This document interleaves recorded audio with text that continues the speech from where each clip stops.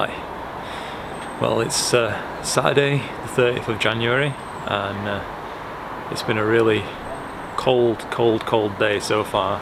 Uh, but I've checked the weather forecast, and uh, apparently it is due to clear tonight for a few hours. Um, really, I'd not like to get out the full rig just for a short session like that, but it seems such a shame to not do something. Um, I've decided actually tonight I think I'm going to get out my AZ GTI, uh, small star tracking mount, uh, and just use the DSLR and lens and hopefully get a wide field image of the Orion constellation and hopefully catch some nebulosity. Um, I've just checked Stellarium and Orion will be kind of well placed for me in my location uh, by around 9pm. Uh, there'll be around a 90% illuminated moon I believe about 90 degrees away. Uh, so that's certainly not going to help things, but it's never really stopped me from trying before. So we'll see what we get.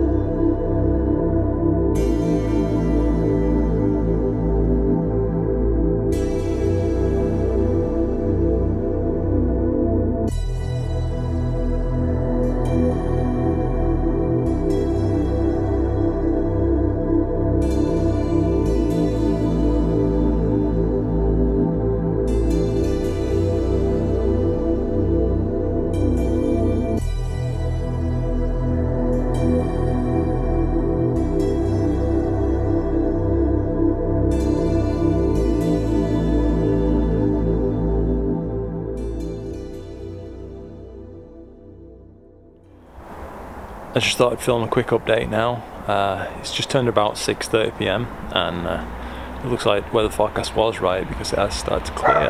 Um, so I'm hoping the next hour or so it should go from being partly cloudy to mostly clear as it promises and uh, I can really get started then.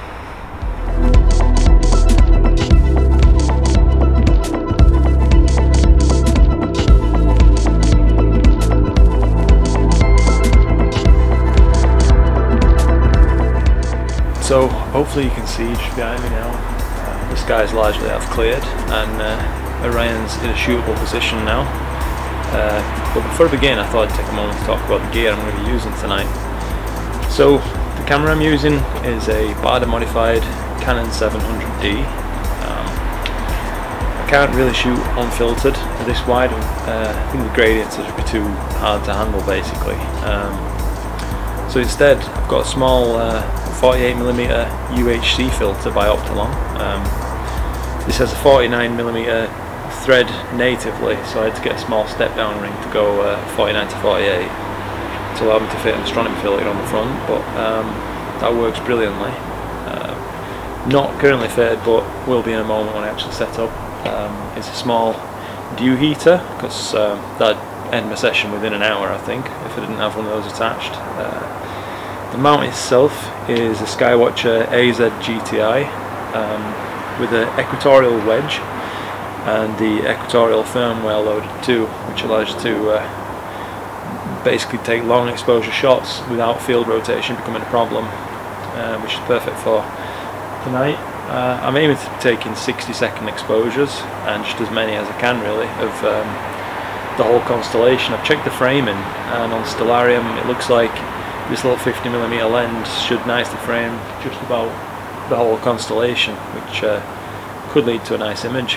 Um, as to the tripod, uh, I, I, actually repurposed a surveyor's tripod that I bought uh, just for this really. Uh, it didn't take really much modification, this was someone else's idea on a forum that I saw, I just thought well why not, it's about the same price as the Skywatcher part but um, were available on the day I needed it and it really is I mean it's rock solid so I can't see wind, rock or such being a problem. I mean I wouldn't really expect anyone on such a small rig but at least uh, that's one less worry out of my mind. So tonight's polar alignment is going to be about as rough as it comes. Um, basically, it's just going to be make sure the bubble level on the mount itself is uh, showing level. Um, make sure that the axes of the mount uh, are both basically visually zeroed, not really worrying too much about it being exactly perfect. Um, and then I'm just going to turn live view on on the camera and uh, send to Polaris in the uh, overlaid crosshairs on the live view video feed. And I'm going to call that just about done.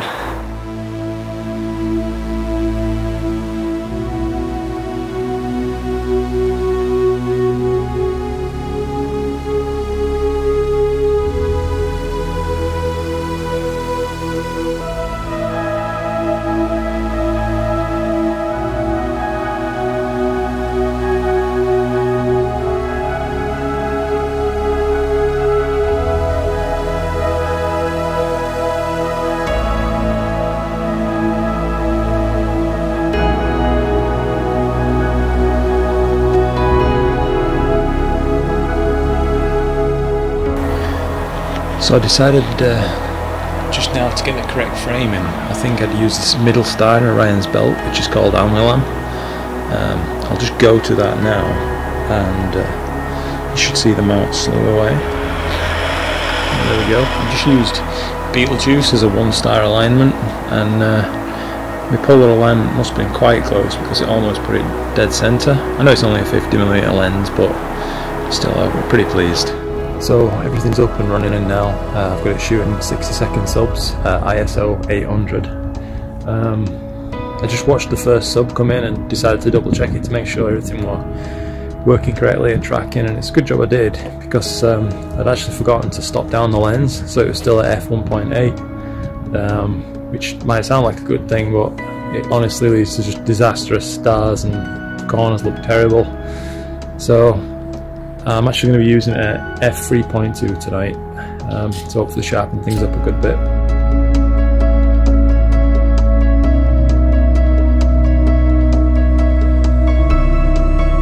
Uh, it's now about 10 past 9. Um, Orion's just moved to the western side of the meridian so I'm just going to meridian flip with a little AZ GTI. Uh, realigned, refocused, and everything's back going again. I think I captured about an hour of subs to this point. Um, unfortunately, I've now got this to deal with, which is uh, not great, but what can you do?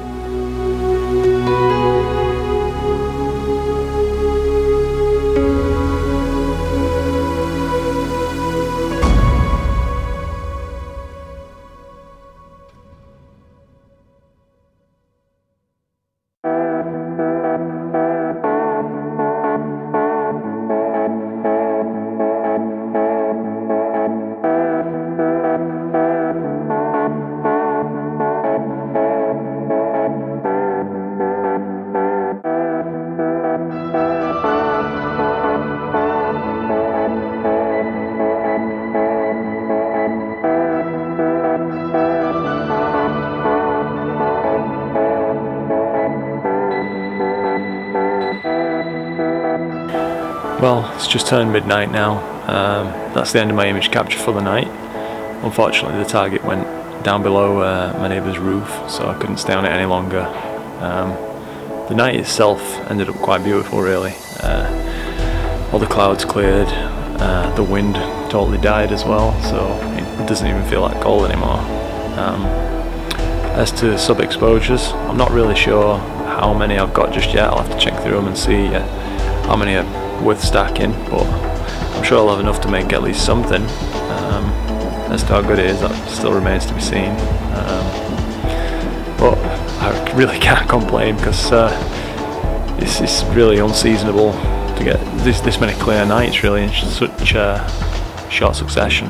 Um, unfortunately, I don't know if I mentioned earlier, but next week's weather looks just a total wash. So uh, I don't think there'll be anything coming then. But if you did enjoy uh, watching my video then thank you very much for spending the time watching it. It's, uh, it's been a pleasure